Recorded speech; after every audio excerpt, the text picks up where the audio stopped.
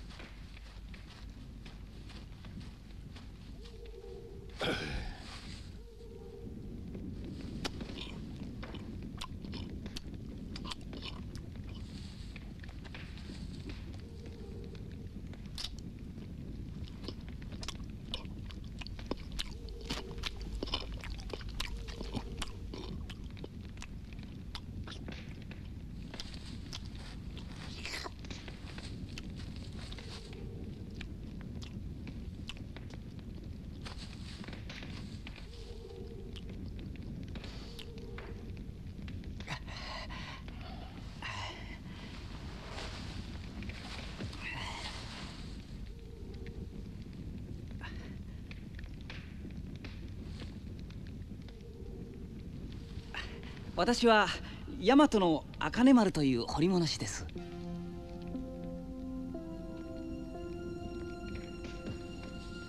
あなたは唐の国に住むと言い伝えられている鳳凰という鳥のことをご存知ですか？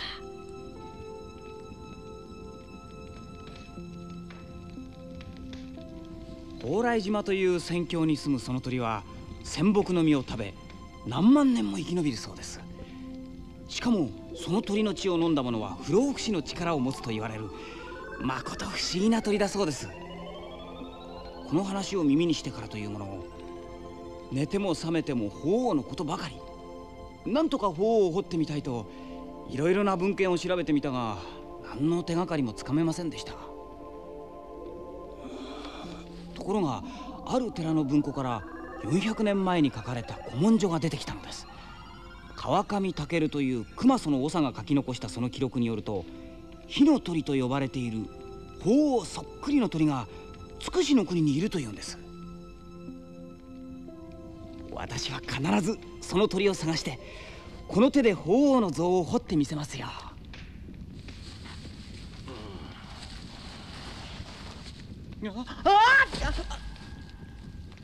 脱げな、な、何を？さっさと脱がねえか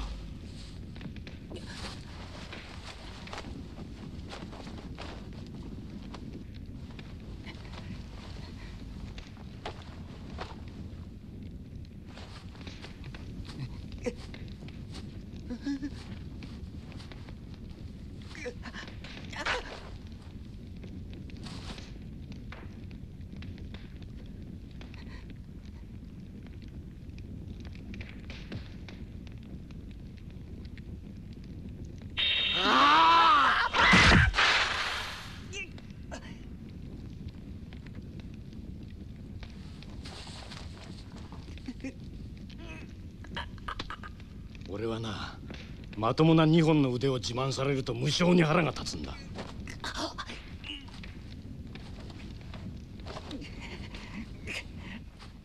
わ私に何の恨みがある？そんなものはね俺を焚き火に誘い込んだのがいけねえんだ。恨むなら火を恨め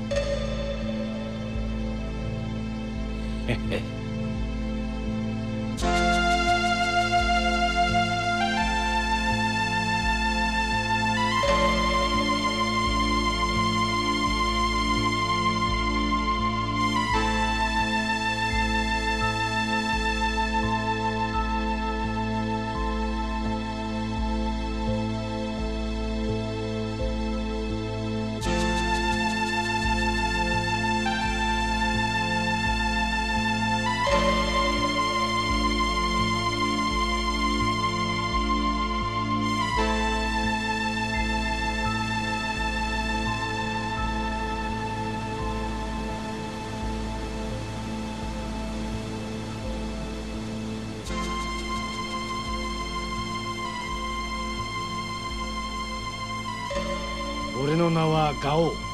ガオ。唐の国に住んでいる鬼の名だ。鬼？そうよ。俺は鬼だ。女子供年寄り。数えきれねえほど人を殺している。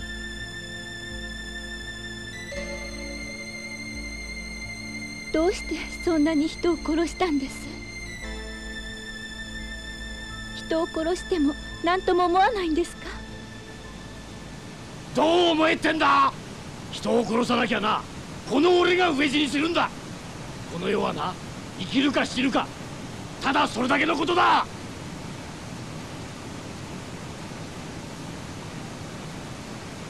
さあ来てな。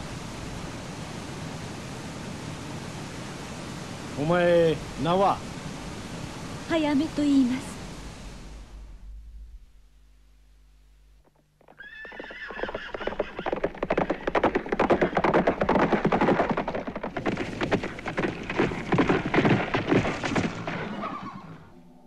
備はどうだ？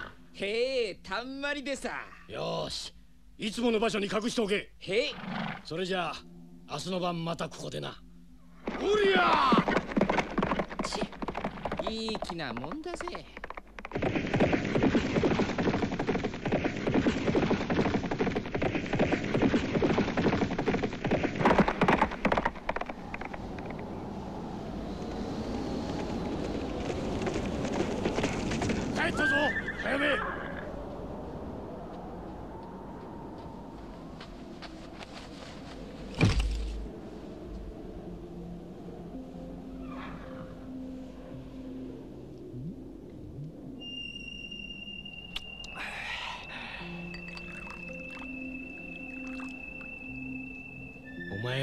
いつ見ても美しいな。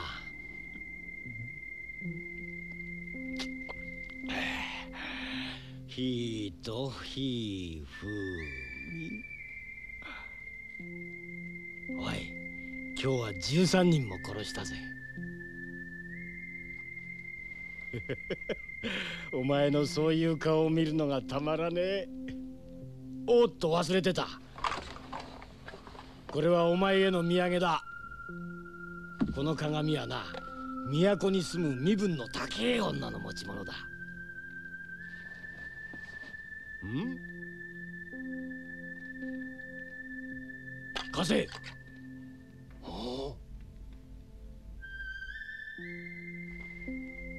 おいなぜお前の顔は映らねえんだ？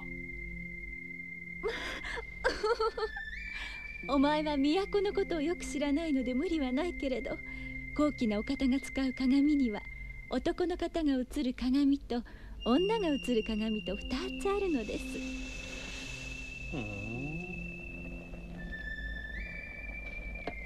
その鏡はきっと男の方が使うものですよ。はあ俺の顔なんか見たくもねえ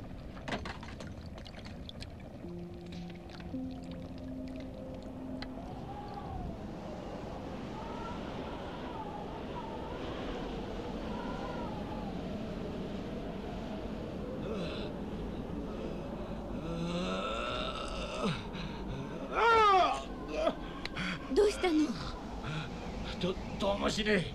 ただ。ただ？よ夜な。どうってことはねえ。ただが。鼻が痛むの？ああ。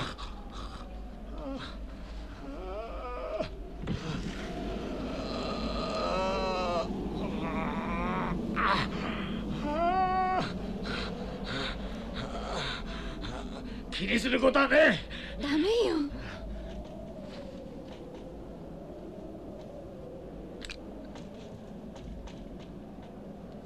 えひーうーやけにしみやがる。それくらいの方が効きます。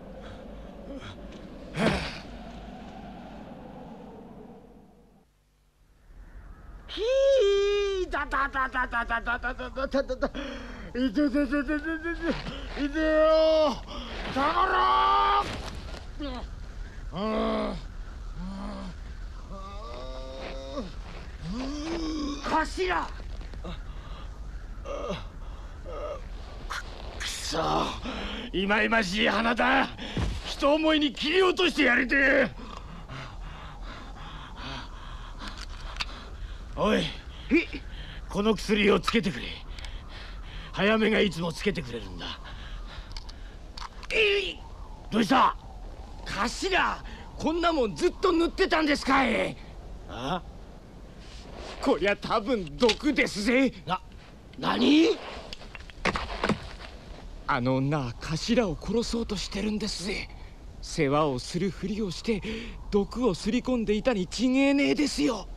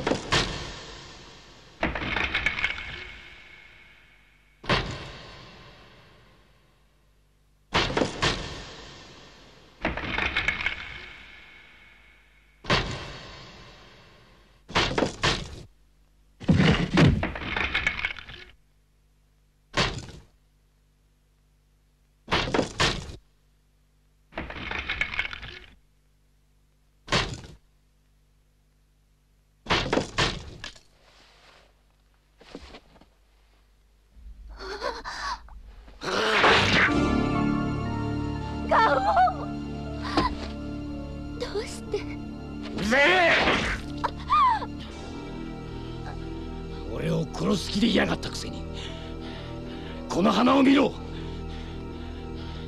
毎日てめえがあの薬を吸い込んだせいだ。毒の薬をな。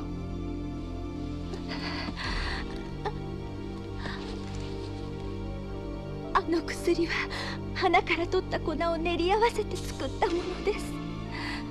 お前のために私が。嘘をつきやがれ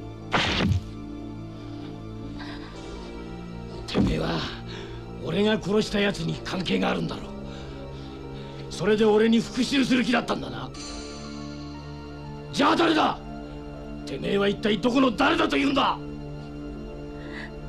私はいつだったかお前に命を助けられたものです。命を助けてもらっただと？バカを言え！俺は尾鷲のガオだ。泣く子も黙る大盗賊様だぞ。お前とずっと一緒に幸せに暮らしたかった。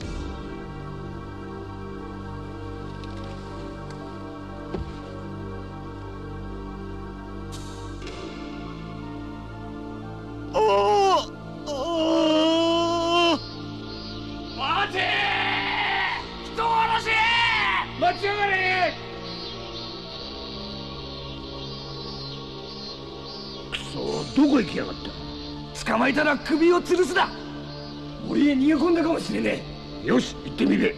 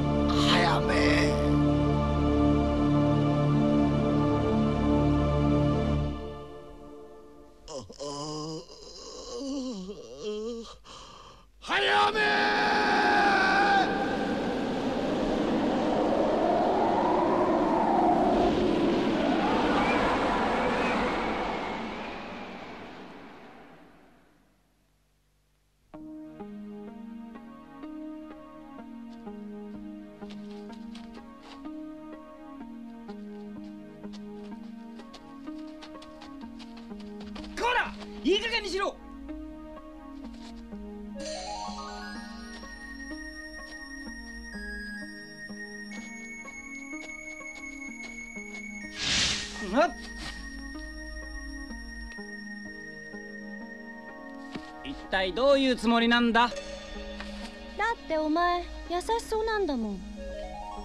それにこの辺りでは珍しく様子がいい男だし。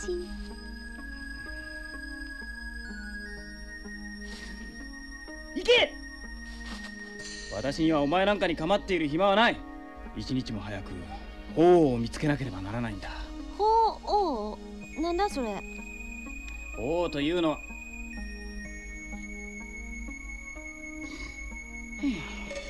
わしぶちお前は？あお前名前は？おい名前。茜丸。どこ行く？おいつくしの国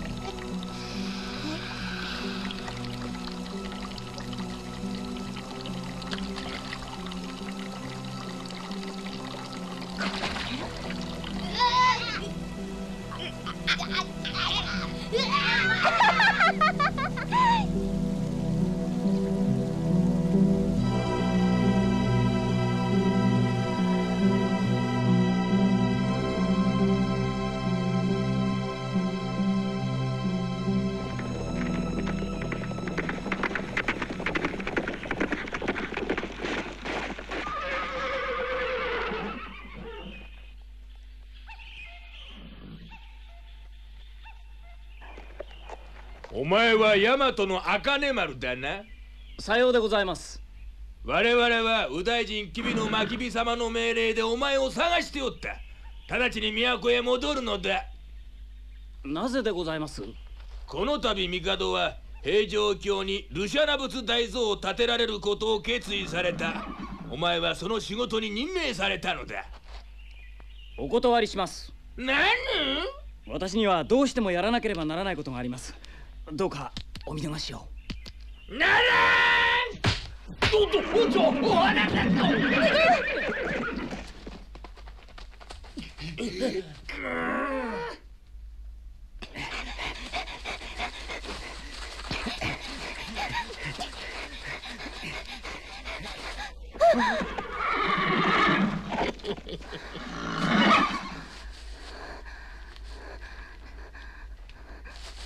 バカ者めが我々の手から逃げおおせるとでも思っているのかダメどけこら！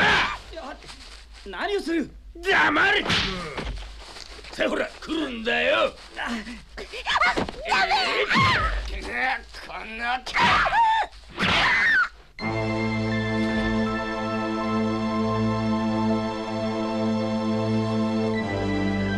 無事行くぞダ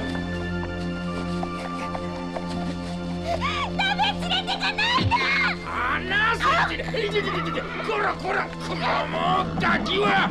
えー邪魔だ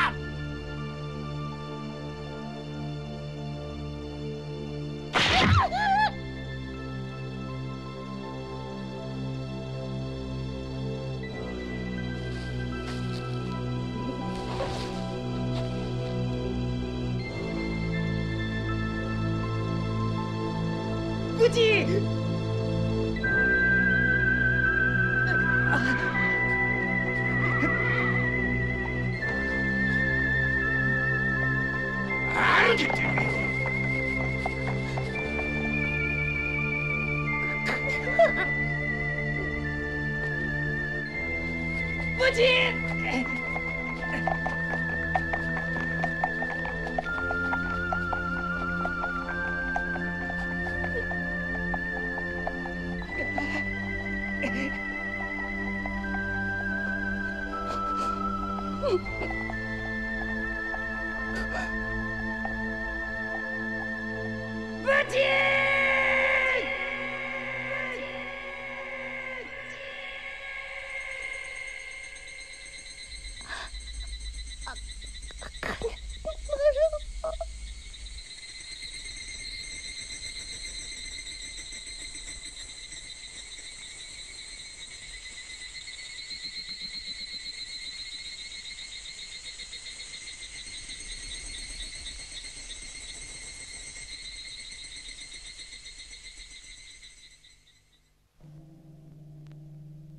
天平15年。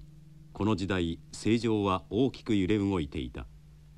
干ばつや疫病が相次いで日本全土を襲い蝦夷では不穏な動きが目立ち海を隔てた半島では新羅が日本侵攻の気を伺っていた。このような内外の危機を憂いた朝廷は各地に国分寺を建立した。その目的は仏教による国家鎮護にあった。そしてその締めくくりとして聖武天皇の勅命により大仏建立が推し進められた。217万9973大仏殿完成までに動員された延べ人数だけでも莫大な数に上る。それはまさに国家の命運をかけた一大事業だったのである。何？吉備の真備様が？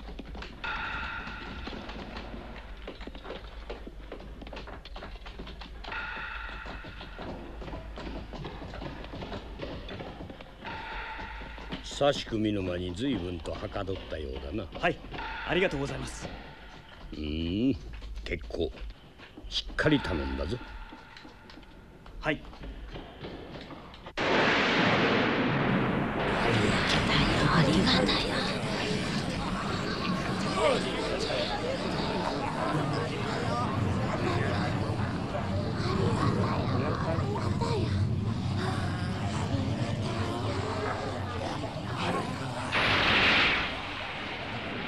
それにしても凄まじい顔ばかりじゃのまったくのうあんな穏やかな顔をしておるのに掘るものはみんな恐ろしいものばかりじゃ。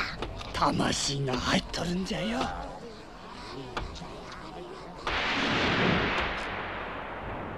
大変です。どうした？大仏様が泣いています。何？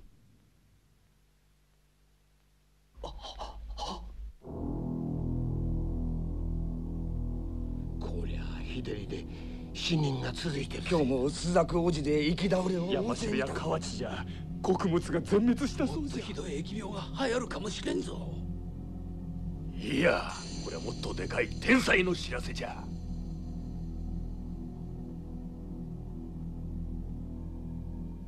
参った。大仏が泣き出してもう5日にもなる。職人たちが動揺して仕事にならない。せめて雨さえ降ってくれればいいんだが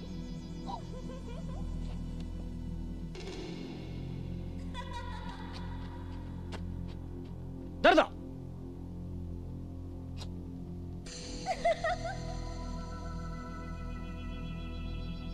ブチ！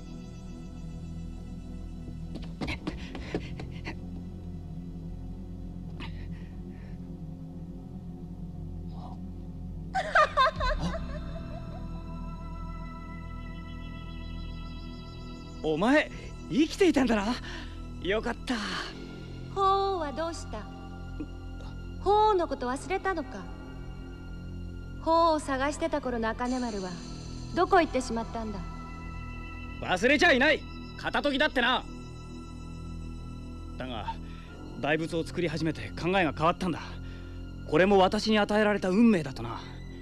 これが完成すれば私の名が全国に轟く。地位も名誉も手に入れることができる。それのどこが悪いと言うんだ。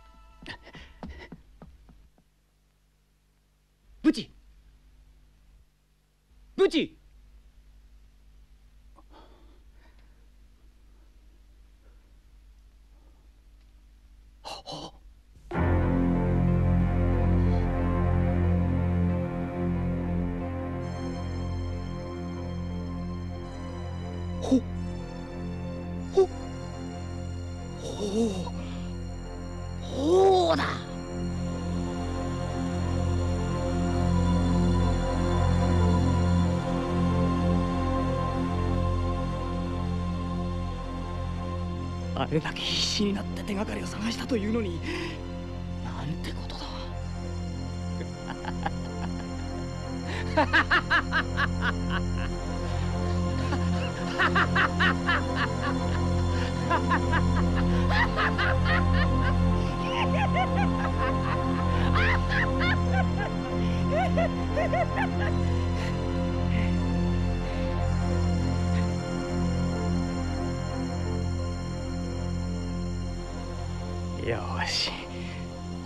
私の名を不動のものにしてみせる。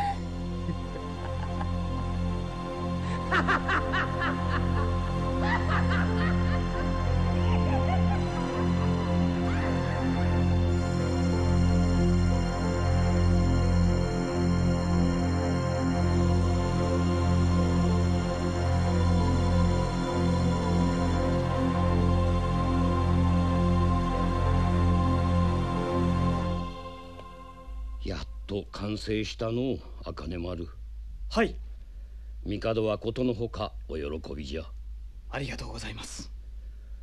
ところで大仏殿完成のお祝いとして帝に献上する彫り物のことだが茜丸。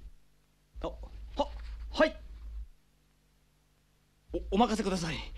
必ずや満足いただけるものを。そのことだが小賢しい成り上がり貴族どもが別の彫り物師を立ててきおった。なんですって。私の腕では荷が重いとでも言われるのですか。いや措置を強引に押したわしのやり方が気に入らんらしい。そこで措置たちに腕を競わせいずれかを採用することになったのだ。その者の名は何と。ガオ。山陰道を流れ歩いておった古事記僧だそやつの掘る仏像や魔除けはまか不思議な力を持っておるともっぱらの評判じゃとか。今日都に着くことになっておる。わかりました。私も大和の茜丸と呼ばれている男。受けて立ちましょう。ん。大仏殿完成にふさわしいものを期待しておるぞ。わしの目に狂いがなかったこと成り上がり者どもに見せつけてやるのじゃ。よいなはい。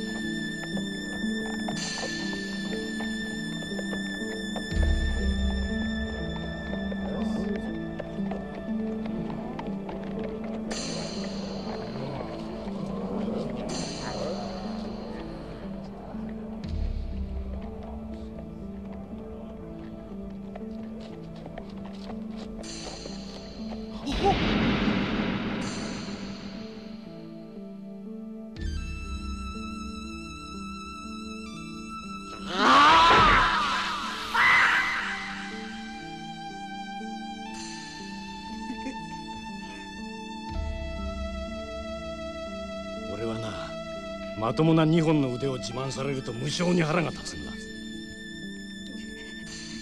わ私に何の恨みがある？そんなものはね俺を焚き火に誘い込んだのがいけねえんだ。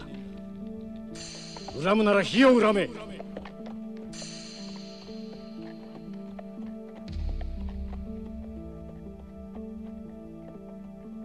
大和の茜丸尾鷲の雅王この度の大仏殿完成に際し帝に献上する祝いの品を掘ることを両名に命ずる。なお献上する品は仏の皆において審議の末いずれか一社のものに決定する。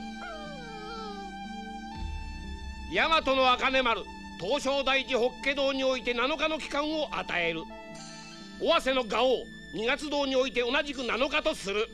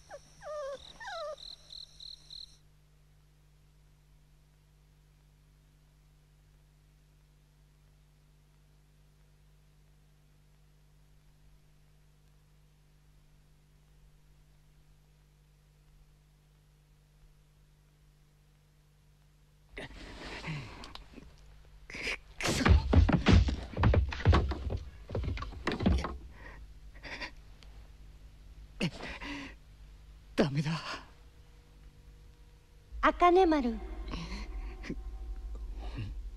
焦っちゃダメ。地位とか名誉なんてもう欲しがるからいけないんだ。そんなもん捨てちゃいなよ。そうすりゃ。だ黙れ！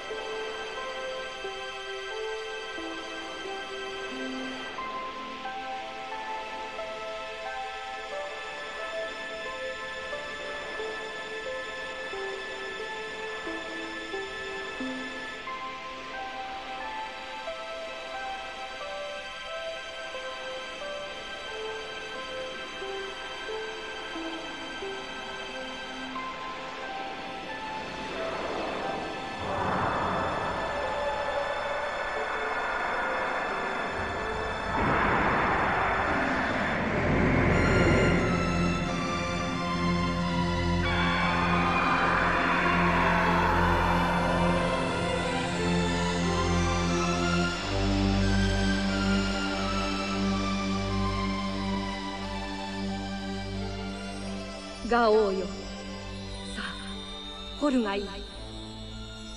お前の心の内にある悲しみ苦しみ怒り。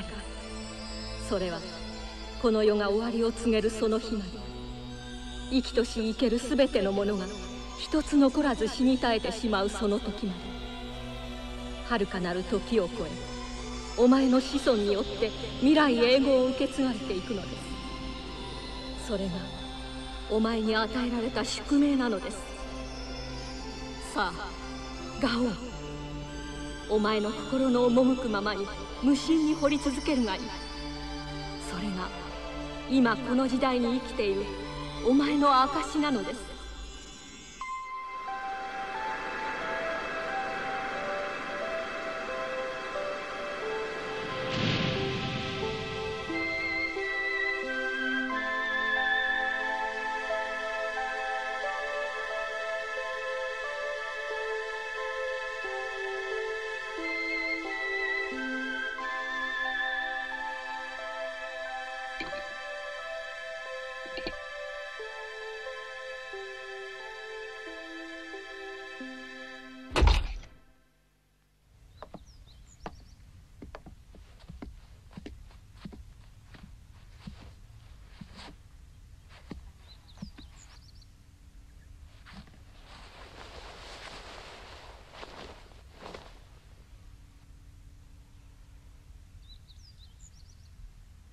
ただいまより仏の皆において審議を執り行う大和の茜丸未成。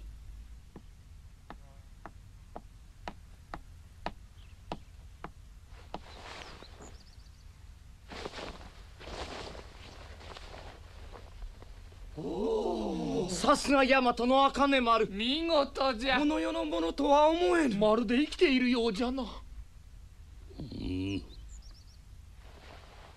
尾顔を見せい！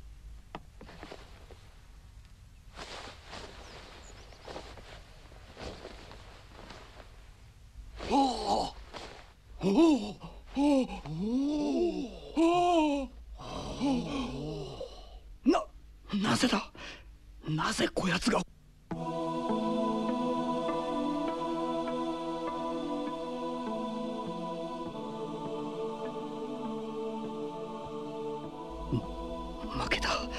完全に私の負けだ。こんな勝負などするのではなかった。日々殿。さあご裁定をいかがなされた日々殿。さあご裁定を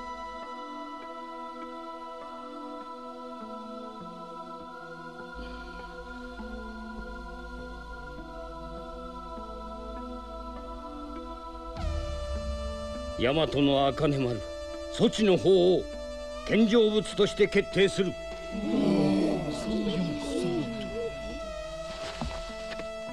これにて審議は終わりとする。お待ちくだされ。誰の目にもガオの者が優れておることは明白。何故に茜丸の勝ちとなさる。吉備殿あなたの面目のためなのか。何？我はしかと見た。吉備殿あなたまでがガオの者を見た時簡単の声を上げたではないか。ガオの勝ちを認めたではないか。お待ちください。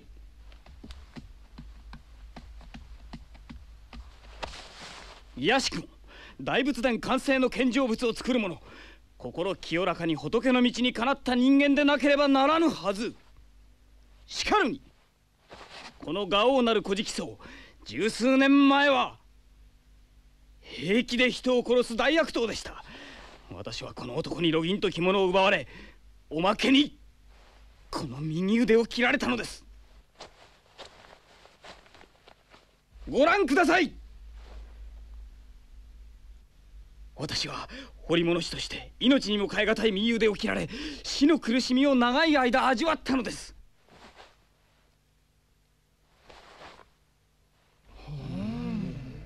おおそれは初耳だ。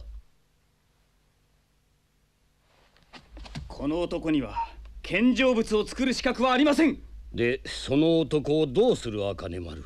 どうすれば気が済むのじゃ？私の苦しみをあの男にも味わわせてください。右腕を切り落とし都から追放していただきとうございます。ん？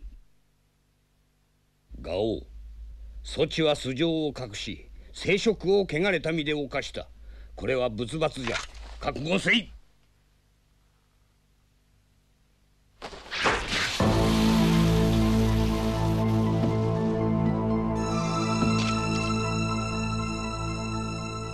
茜丸。そちの法王の像開元式の日まで正倉院北蔵に安置しておくがよいぞ。ありがとうございます。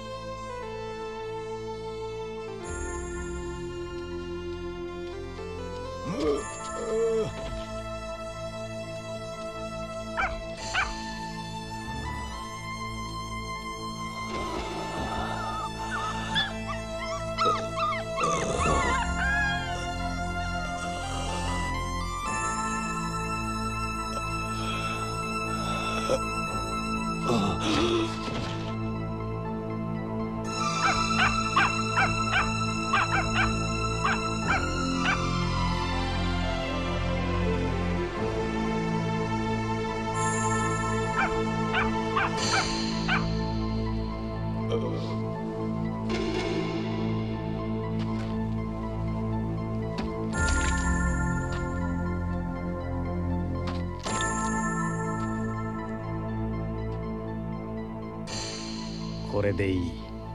これでいいんだ。これでヤマトの茜丸の名が永久に残る。永久にな。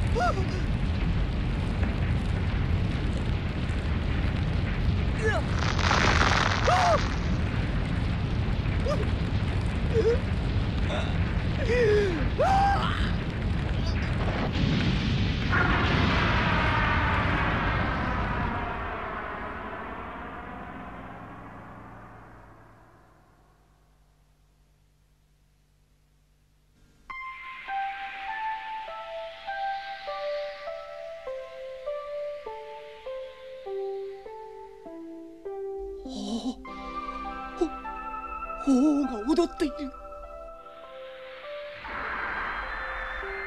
なんという美しさだ。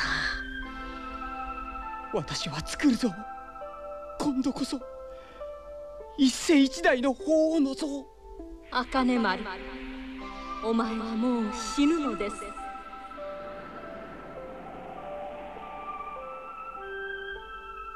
私が死ぬ。私はまだ生きたい私にはまだやりたいことが山ほど残っているんです。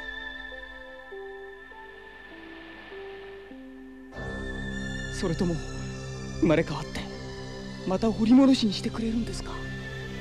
いいえ。お前は小さな魚に生まれ変わり海へ戻るのです。魚に嫌だ！私は人間に生まれたい。生きて再びダメです。お前の運命は全て決まっているのです。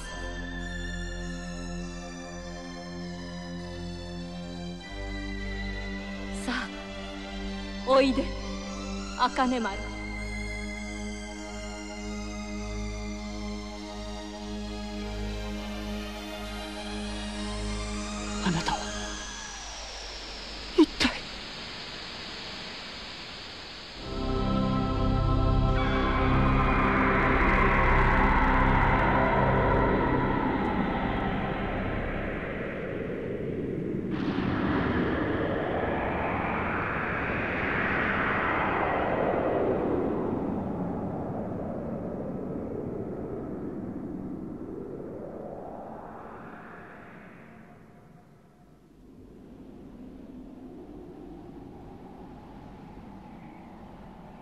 天平正法4年西暦752年4月9日。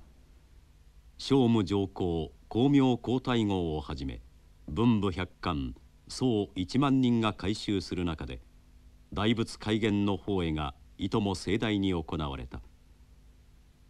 仏法陶器より祭への儀。いまだかつて格のごとく盛んなるはあらざるなり。食日本儀にこう記されている。まさに未曾有の国家的儀式であった。そしてそれは宗教と政治が結びつき貴族が絶対権力者となる時代の幕開けでもあった。